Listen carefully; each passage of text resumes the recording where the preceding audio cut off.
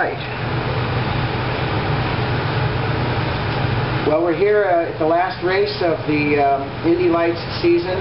Uh, Mazda Road to Indy. And uh, Stefan Wilson is sitting in uh, P2 at about, what, six or seven points margin? Yep, uh, seven points in front of uh, the Sam Schmidt Esteban Guerrieri um, at the Lake Soto Cup. So, uh, no, I'm you know, really uh, pleased to be in that situation. I, uh, I started second in today's race. so- Right, you qualified well, so as long as you stay where you are, you're in good shape. Yeah, I mean, I'm just not going to think about it. You know, it's it's not really, you know, I'm not really thinking about the championship today. I just want to win the race. You know, that's that's really important to me. So, you know, we're just going to do everything we can, and uh, you know, unfortunately, the schedule's pretty tight, so I've got to uh, just uh, attach my uh, visor strips while talking to. Right. But Well, I have some prepared questions, so uh, about five of them.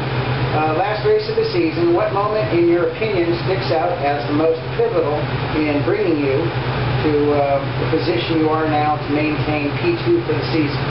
Um, I think uh, an important race for me this year was, was Toronto. It was definitely a really good race for me. It was a break breakthrough race. I, um, you know, scored the pole there and had it taken away because uh, a, a, a yellow flag infraction. So it was kind of heartbroken to have that taken away. But um, in the end, in the race, we were able to get by the pole sitter and win the race. So that was a really awesome time. I love that track, love that city, and it's really nice to, to get a win there. And it's actually marked the it was the sixth or seventh year anniversary of when Justin won that and won his first American race. So that was really cool. And uh, then just two weeks ago in Kentucky, where I scored uh, the second win of the season. So know, they're two really big races for my season, and uh, that's definitely helped me get into second place in the championship points. Um, how tough has it been being a one-car team when the field seems to be dominated by a score of cars from one team? In other words, Sam Schmidt Schmidt and his four cars. Yeah, it's um, it, it, it's definitely difficult being a one car team. You know, you just have uh, less um, less information coming in, and you know when you have four for you, it, it's like four different sources of information that you can tap into, and helps uh, move the team forward. But we haven't had that, still, you know, uh, we've done uh, a good job. I think you know the, the calendar, the, the schedule of races has, has affected our championship a little bit. You know, the, the Sam Schmidt guys are really dominant on the short uh, short ovals, and uh, that being Iowa, Milwaukee, and Loudon, and uh, they won all three of those races. So that really makes a difference. Our car was uh, a little bit. Uh, I, I felt was a little bit weaker at, that, at those events, and uh, that hurt us in the championship. And, you know, I think the schedule we only had one permanent road course on, on calendar, and that's where I think uh, my European background and this team is, is really strong on. So if there'd been, like last year, four permanent road courses, you know, we might be looking at different championship today. But, you know, uh, I'm really pleased to, to manage to get second in points. And uh, we actually missed a race because of funding issues.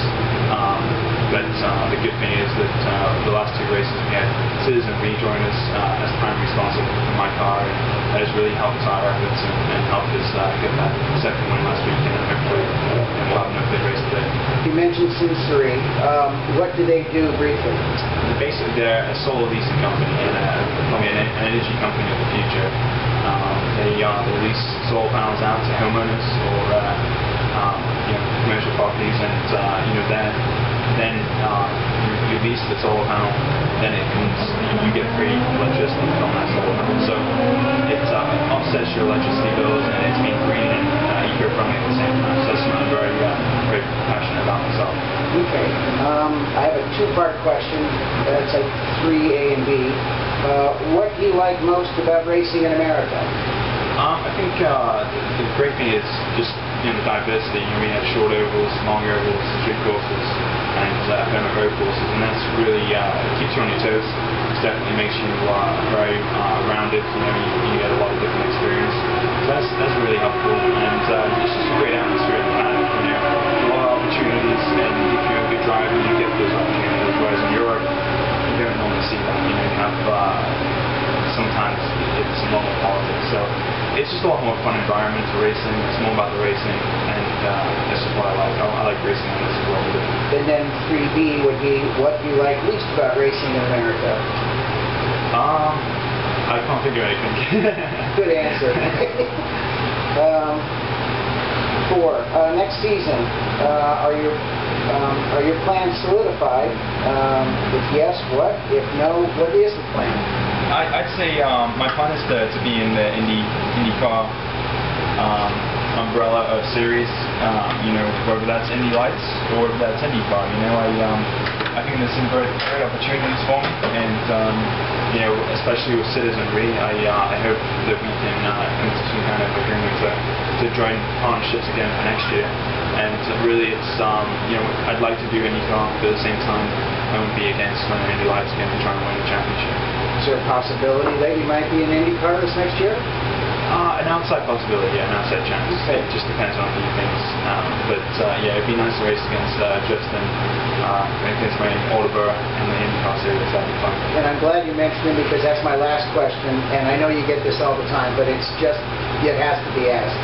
Uh, Your brother uh, is Justin Wilson. Uh, He was a Champ Car World Series breakout driver. Uh, He's also doing quite well in IndyCar, um, especially when his car's set up right. Um, The Wilsons are known for being very tall. Between you and Justin, who's the tallest?